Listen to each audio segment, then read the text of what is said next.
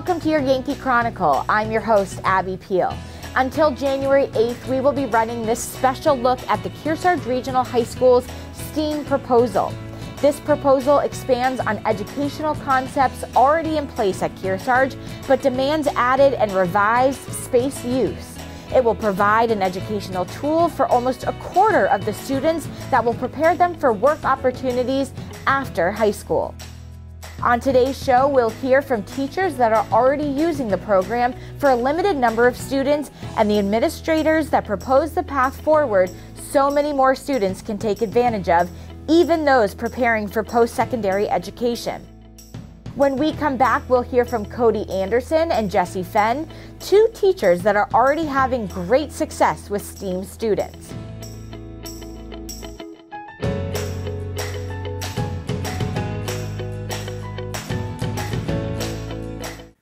Annual meeting and deliberative session for the Kearsarge Regional School District will be held on Saturday, January 8, 2022 at 9 a.m. in the Kearsarge Regional High School Auditorium located on North Road in North Sutton, New Hampshire.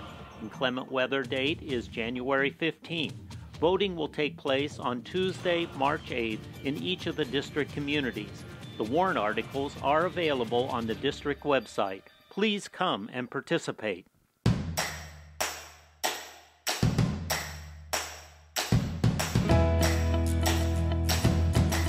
Welcome back to Yankee Chronicle. I'm your host, Abby Peel. Today, we're looking closely at the STEAM proposal for Kearsarge Regional High School. Two teachers that are already using the technique will join us now. Tell us more, Cody and Jesse. We're here today to talk about the proposed addition on the high school, which will house, and we'll call it the new STEAM wing. Uh, it's going to be what we'd like to call an innovation space that is going to allow us to offer more for the students here at the high school. So the proposed STEAM wing um, will provide us space and opportunities for students um, to engage with the curriculum in non-traditional ways, um, in ways that will help prepare students um, with the skills, not only academic skills, but also social skills, cooperation, problem solving, um, in order to really be prepared for the, the changing post-high school landscape. So one area example would be uh, looking at a school store, for example, where we could mix in hands-on learning where we could have students develop products, make the products, sell the products, do math and accounting to see if we're making a profit, see if we've covered our costs, and eventually sell them to those in the school or help other clubs or sports teams with fundraising later on with the products that we're able to develop. Um, so I've really become involved in this project through my role as a curriculum leader in our STEAM department. Um, my day job here at the high school is as a science teacher, um, but my, my real passion is inspiring students to learn and apply their knowledge in creative ways. Um, so allowing a student to get credit for a science course, whether it's physics or chemistry um, or biology, something like that, by applying those same competencies, those same content, knowledge, and skills um, in some different way. So if the student can find a problem in the community um, or a problem that they are facing in their daily life, um, and then demonstrate their knowledge of our science curriculum through solving that problem, then that student is able to demonstrate competency and therefore get credit um, for their demonstration of that skill. So one of the ways we're looking at doing this is, again, giving the students the opportunity to learn in the way they want to learn. Uh, example would be whether you're taking AP classes so you can prepare for college, you're preparing for a trade school, a two-year program, a certificate, or even just going straight into work after high school. You can say, maybe I want to learn about the chemistry of baking.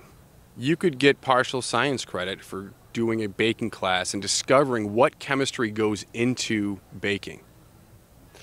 So, our traditional educational model um, has done a good job of meeting the needs of what are a number of college bound students.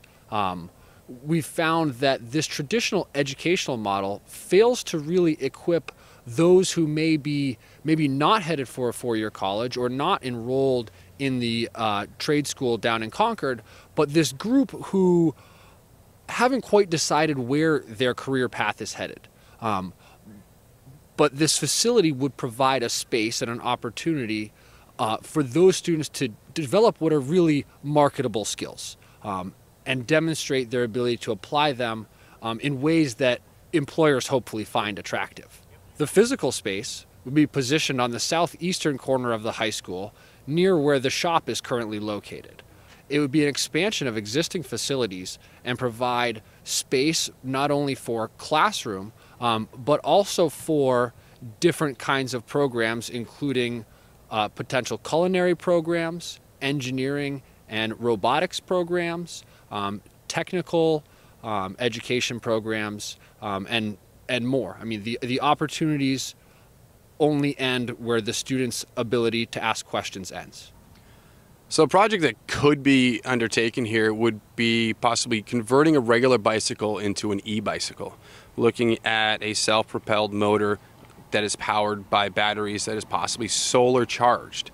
This is something we could look at in this space because we would be able to utilize cross-curriculum expertise, if you will. So we would have multiple staff members, multiple teachers able to contribute to this in one space. So it could organically come together rather than having to schedule things three different places, three or four different times within a span of two weeks just to be able to get people together. This space would allow us to do that all in once, all in one space. Um, the, the type of educational model that this space would, would enable um, would allow students in a very organic way um, to ask a question and seek an answer.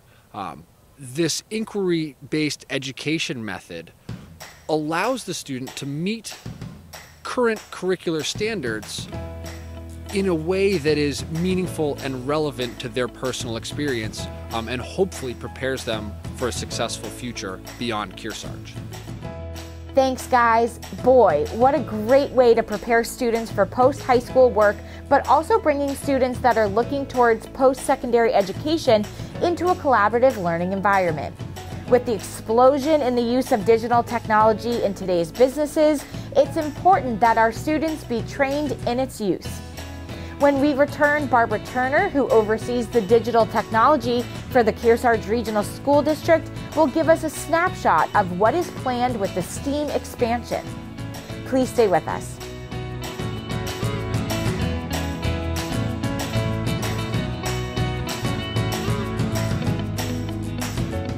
The annual meeting and deliberative session for the Kearsarge Regional School District will be held on Saturday, January 8, 2022 at 9 a.m. in the Kearsarge Regional High School Auditorium located on North Road in North Sutton, New Hampshire. Inclement weather date is January 15. Voting will take place on Tuesday, March 8th in each of the district communities.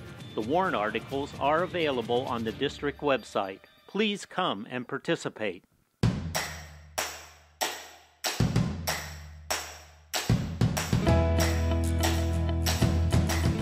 Welcome back to Yankee Chronicle. I'm your host, Abby Peel. This week we are focused exclusively on the STEAM proposal for Kearsarge Regional High School. Let's now hear from Barbara Turner, who oversees digital technology for the Kearsarge Regional School District, who will give us a snapshot of what is planned with the STEAM expansion. Hi, Barbara. Thank you, Abby. Joining me today is Chris Spooner, the technology and engineering teacher from Kearsarge Regional High School. Technology has certainly evolved in the last 20 years when classrooms either had no computers or they had one workstation to classrooms having a set of computers for students to work on. Now we have a laptop and a Chromebook for every teacher and student. Those devices along with the textbooks that students still continue to use, allow them to go online and find resources to help them better understand concepts and get a richer, deeper learning. In the 14 years I've taught here, I went from teaching CAD that was focused on making engineering drawings with dimensions on them and locating holes with um, numeric dimensions that might be sent off to a machine shop to be made that really wasn't a practical experience to CAD being used to make actual products using our 3D printers, laser cutters, and CNC routers.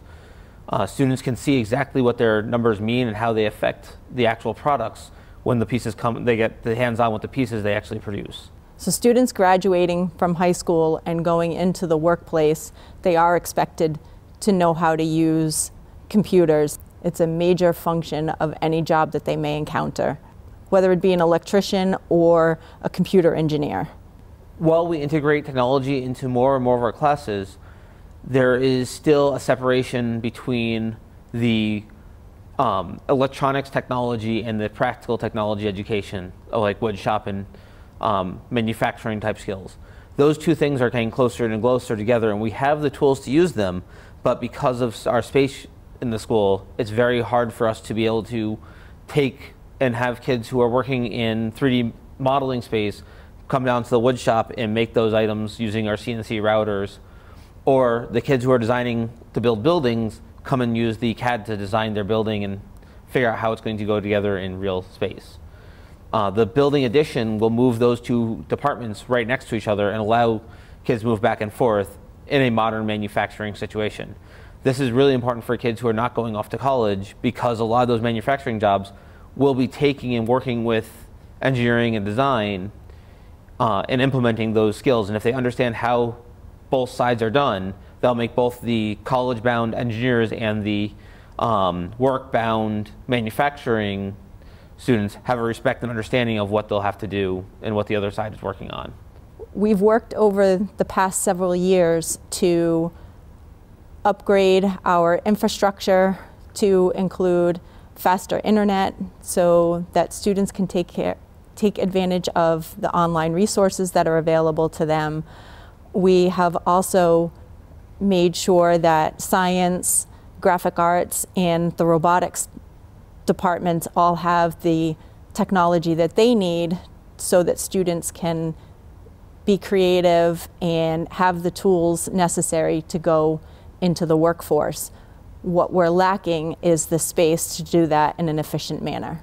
The 20th century uh, education siloed each subject in its own individual domain. English was different from social studies, which was different from math, which was different from science, which was different from woodshop, which was different from music. Um, the 21st century is all is going to be about putting those things together. Your science and math are really together.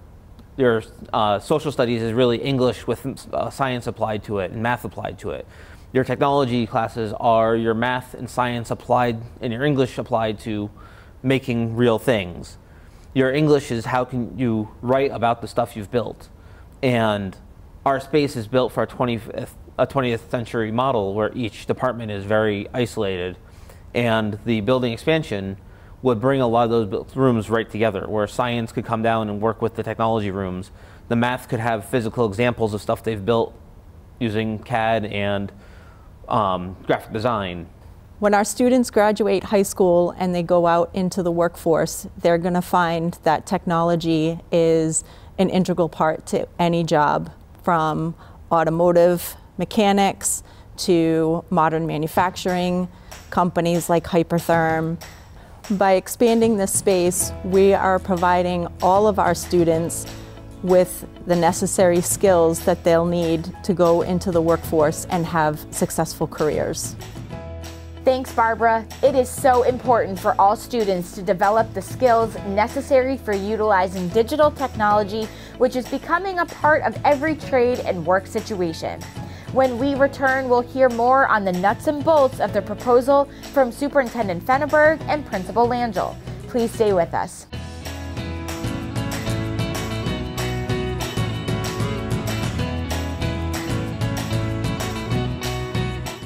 The annual meeting and deliberative session for the Kearsarge Regional School District will be held on Saturday, January 8, 2022 at 9 a.m. in the Kearsarge Regional High School Auditorium located on North Road in North Sutton, New Hampshire.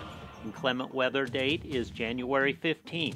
Voting will take place on Tuesday, March 8th in each of the district communities. The warrant articles are available on the district website. Please come and participate.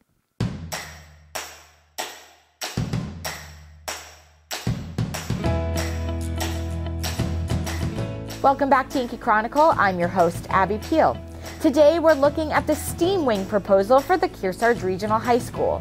Two people that are instrumental in making it happen are the superintendent and high school principal. Tell us more, Winfried and Charles.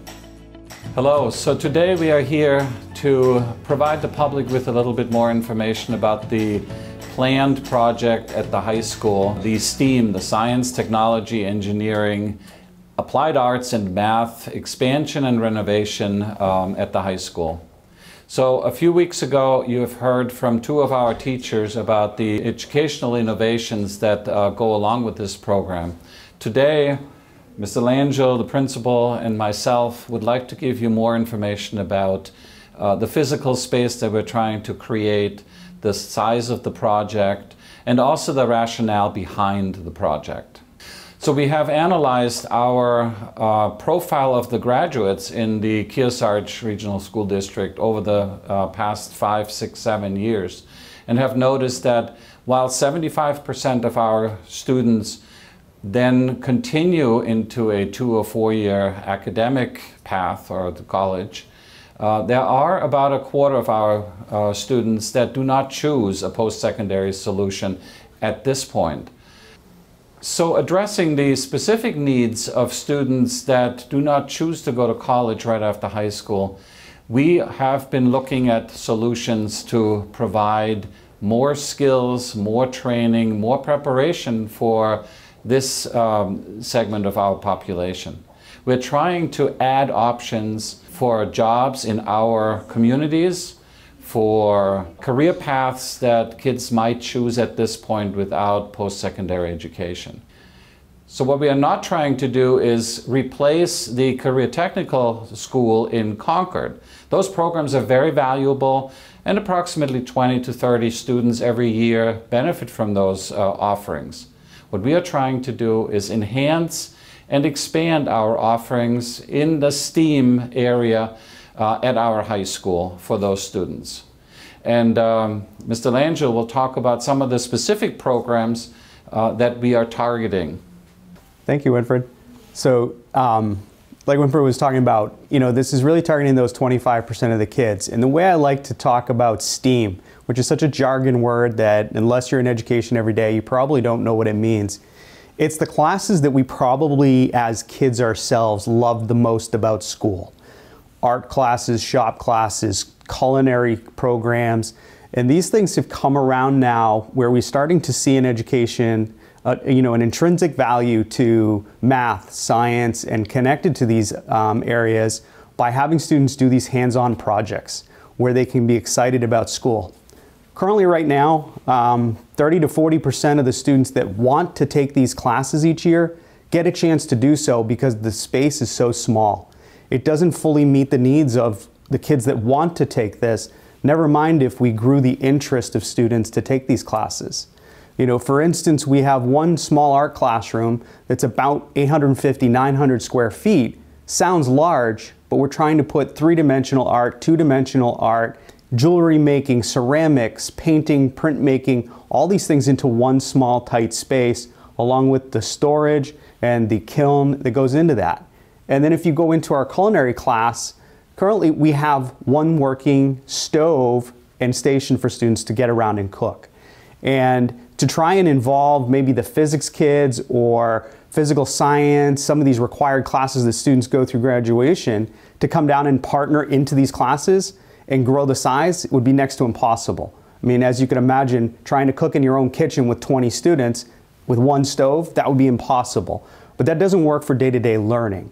In a woodshop class, you know, we are using the same tools that were used 50, 60 years ago when there are so many advancements in, in modern manufacturing, including robotics and CNC routers and these things that do a lot of the labor intensive work of the construction industry, of the manufacturing industry. And we have some of those components, but it's really hard to use them because the space also has to have the traditional wood lathes and the bandsaw and the chop saw and, and all those other things that we have to have to also build the components that go with it. So this expansion would allow us to be able to use modern manufacturing with all of the old technology at the same time.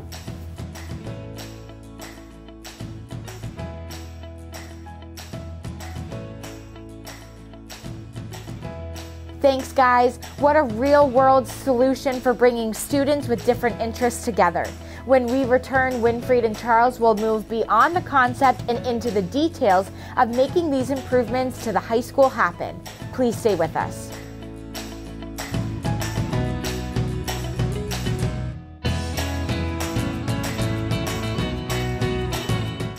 Annual meeting and deliberative session for the Kearsarge Regional School District will be held on Saturday, January 8, 2022 at 9 a.m. in the Kearsarge Regional High School Auditorium located on North Road in North Sutton, New Hampshire.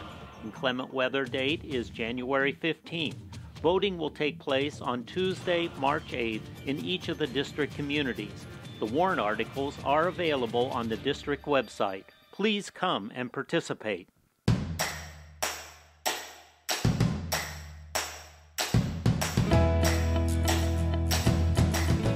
Welcome back to Yankee Chronicle. I'm your host, Abby Peel.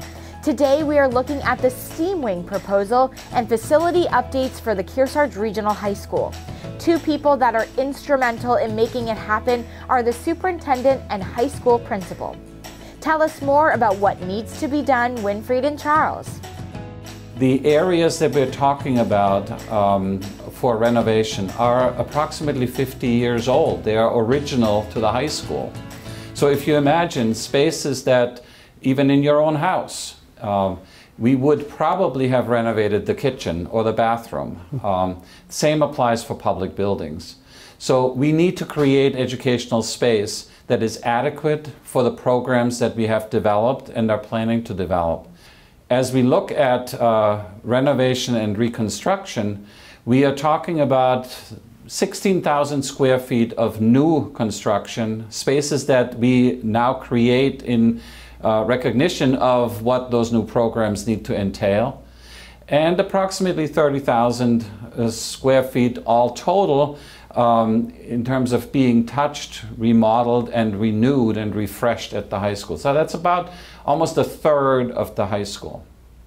In the process of planning, we also discovered that um, several of our systems, our uh, the roof, um, the HVAC need an update.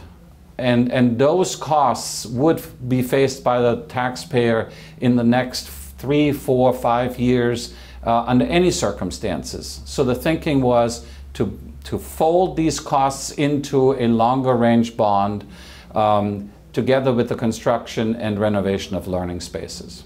So Winfried, you know, you bring up a great point. 50 years old. One of those areas that we're looking at too with, with this renovation uh, is the locker rooms and the PE storage and the PE commons area. Um, currently, those locker rooms look the same as they probably looked 50 years ago. Gang showers, tight spaces, corners uh, where it's hard to get by someone, and then some awkward open spaces that can't really be used fully for team meetings. They have, you know, gender based from 50 years ago style fixtures in them. Female locker room has some private wall spaces, but the male locker room has none of that. And there are no real storage spaces. So often when you go into these locker rooms, some of the PE equipment and the football equipment and soccer equipment are sitting on the floor or off in a corner uh, because it's the only place that they really can fit. And it's, it's a great opportunity to be looking at that whole 1970s wing of, the building where a lot of these things have been untouched for some time now. That's a good segue to uh, what people probably want to know about this project. How much does it cost? So at this point, we're looking at a total cost, which obviously need to be bonded, of 22 million, 22.2 million dollars. If you bear in mind what I said earlier, approximately $5 million of that are maintenance issues, roof issues that need to be addressed either through budget in our regular budgets, or we have the opportunity to bond this and, and fold this into a larger project over many more years. So at this point, uh, we are planning to come to the voters in March with a proposal for a 20-year bond to renovate and reconstruct elements of the high school that also include updates to our HVAC system, our mechanical systems, as well as roof and other repair work that we discovered in the process of planning this expansion. Thank you, Winfried. It reminds me, we should invite you know you to have us come down and into maybe you have a, a small book club or an organization or group that's local to town and you have a lot of questions. Sometimes it's a lot easier to come down and explain those. Uh, we are more than willing to, to come down and, and present this to you to answer questions. We've been going around to the seven towns to all the PTO meetings, uh, to select board meetings, Rotary. Uh, so if you have another club or organization that you represent and you're really curious to know about some of this jargon you're hearing like STEAM and inquiry-based education and what this really means for you, uh, we're more than happy to come down. You can also find more information on our website, uh, as well as going through uh, YCN and, and, watching these videos that, that we've been putting out through PSAs. Uh, and as always, call, email the high school at any time and ask to talk to me, and I'm more than happy to welcome you in and give you a tour around and show you what we're looking at. So thanks very much for that offer. And also, I want to invite everybody and really urge everybody to come to the deliberative session on January 8th for the school district and really voice your concerns, ask your questions, and hopefully support the project. Thank you very much.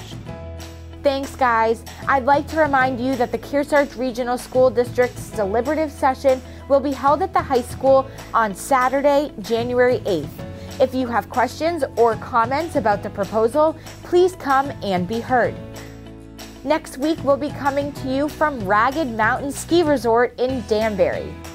Don't miss our live basketball game of the week at ycnnow.com with replays on WYCX every Sunday and Monday at noon and 5 p.m. This coming week will be at Kearsarge for girls game hosting Newport starting at 5:52 p.m. Our games are brought to you by HR Clough, LaValley's Building Supply, Barton Insurance, Bubba's Bar and Grill, Montcalm Golf Club, and Echo Communication. I'm Abby Peel. Join us again next week for another edition of Yankee Chronicle. Stay safe, everyone.